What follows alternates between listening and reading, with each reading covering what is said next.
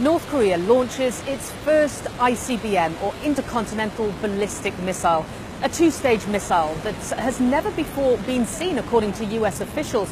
Those officials estimate that it has a potential range of about 5,500 kilometers or 3,400 miles, meaning North Korea could potentially hit the United States. Alaska now within that strike range.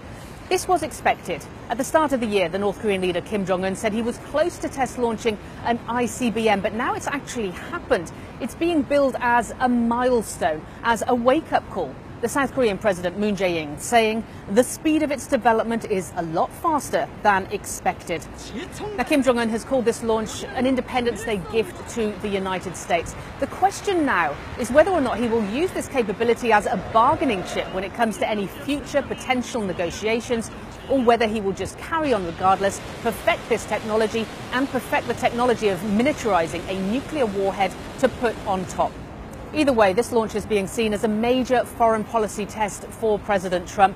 It's ushered in a, a, new reality for the United States, a new urgency to solve this problem where all options are on the table, but none of them are good.